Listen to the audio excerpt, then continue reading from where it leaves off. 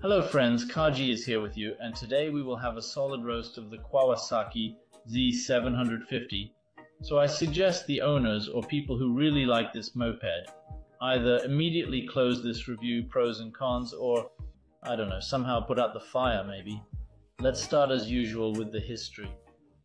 The Kawasaki Z750 motorcycle was produced from 2004 to 2013. It had one restyle in 2007. The Z750 engines are indeed the Z1000 engines, which are derated and reduced in volume, producing 106 horsepower and 78 NC. In addition to engine detuning, the motorcycle also got a stiffer suspension. There were in fact three versions, which are the regular S version and R version. They mainly differed only in appearance, and we will not particularly touch on this. The only thing I want to note is that the restyle was once in 2007, of course. I would have liked to start with the pros, but due to my subjective opinion of this motorcycle, we will probably start with the cons and end with the pros. Like this motorcycle, we weren't too disappointed with it. Let's start maybe with the cons. As I said, the first downside is its weight. The motorcycle weighs 203 kilograms and 207 with ABS, which is quite a lot. Its competitors are much lighter, like the same Hornet or Fazer. The second downside is economizing on everything. The motorcycle was built with economy in mind, so it would be budget friendly enough, let's put it that way, to compete with its peers, even in the price segment. So the metal is weak there, the swing arm looks like a piece of channel, also made of weak steel, pretty hard and uncomfortable saddle. An air filter that attracts sand collects all kinds of dust, but nothing to be surprised about. This is quite a standard strategy for Kawasaki, they also did the same with ER-6. So economizing on components based on materials is, in principle, normal for the Kawasaki Corporation. The third downside is the brakes. The brakes are really weak, to be honest. Only two pistons, caliper, that's honestly not much. Yes, of course, with the ABS version we have four pistons, but damn, it still seems to me that two piston calipers are very little for the front brake, especially for a naked bike which generates a substantial 106 horsepower. That's plenty, even a lot, not too much. The fourth downside is the suspension. The bike received a reasonably cheap suspension, which wasn't even adjustable until 2007. In general, according to owner reviews, the suspension is very soft and it's quite easy to bottom out on it. To make it stiffer, you most likely need to dig deeper. The fifth negative is a rather weak stock chain. The stock Z750 has a 520 chain, although based on the power characteristics it should have had a 525. It stretches very quickly, basically it's replaced immediately because 520 is truly a very weak chain for a significant amount of horsepower and no less than substantial newton meters, so to speak.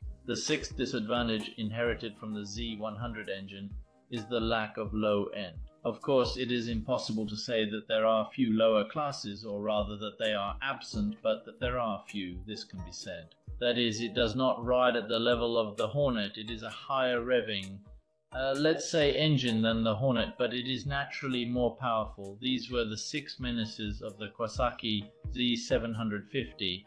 Now let's move on probably to the pros in order to at least somehow smooth out the impression of what advantages the Kawasaki Z750 has. Well, of course, of course, first of all, this is the design. Yes, yes, yes, yes, no matter how negative I am.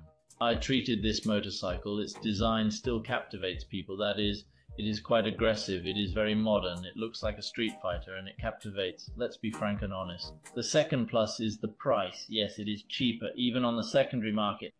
More so, it's a thrill. You can show off to girls that you have more than 100 horsepower. In general, let's draw a small conclusion. I don't want to strongly criticize this motorcycle because it doesn't actually have any strong negatives in reliability or some pains, like for example the Hano has it's how you turn it with a thunder, the tension rattle to be precise. But still, I have a subjective position on this motorcycle. I, I really don't like it.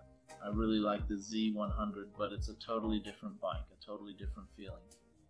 To me, the Z750 is simply a dummy, but a very beautifully drawn one. Its design is insanely beautiful, although it's essentially a slimmed down Z. Nevertheless, the bike still looks really beautiful. It's very captivating. And unfortunately, there's nothing particularly revolutionary about it. That is, everything that's hinged is all very, very bad quality. It's not disgusting quality, but it breaks. But if you choose between classmates, as I said before, I would choose another motorcycle. But outwardly, it's super. It's space. The price is lower, and accordingly, there are a little more horses in it. It will be a quota for the dynamics. It's probably better than competitors. That's the way it is. I hope the owners didn't get too upset with the review of the pros and cons of the Z. I really don't like the bike, but I don't like it subjectively. If you take it objectively, then this is an ordinary classic naked, which is very similar to competitors in all technical characteristics, and which is not much inferior to them.